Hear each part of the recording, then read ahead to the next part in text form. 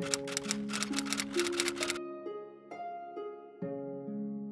guys, welcome to or welcome back to my YouTube channel. I'm Jasmine and today I'm going to be doing another bullet journal with me. I am moving back to my home home, which is like 10 hours away in 17 days. So I thought that I would want to make the most out of these 17 days left that I have. So I'm going to be doing a sort of calendar, bullet journal page, planning kind of thing. I'm not sure yet, but let's see what it turns out to be today. I'm just gonna get to bullet journaling. Like I said in my last bullet journal video, I just have a like portfolio kind of thing, duotang, not a real bullet journal, just with a bunch of things in here, pages, and I just basically make a page for a bullet journal. That's kind of what my bullet journal is. So I lit my candle again right here, maple cinnamon pancake scented, and let's get right into that.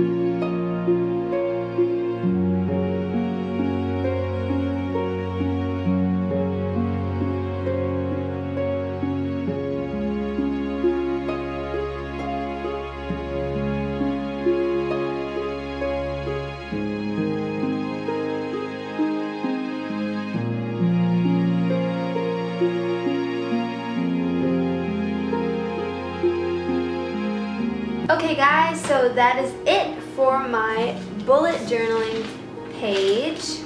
It is very bright and colorful because the brightness and colorfulness is what is going to help me keep track of my days here and keep my list going for things that I have to do until I move out basically. My arms just got really sore. I don't know why. I didn't really do an arm workout yesterday. I don't know why my arms are tired right now. But anyways, so that is my page for today. And it's going to help me, you know, stay on track until I leave this apartment, this room that I have here, that I've had since the last two years that I was in CEGEP. It was my first room that I ever lived in, my first home away from my OG home, my childhood home. And now I'm moving out in 17 days.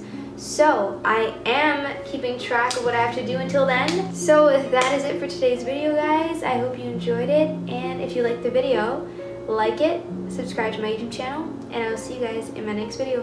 Bye.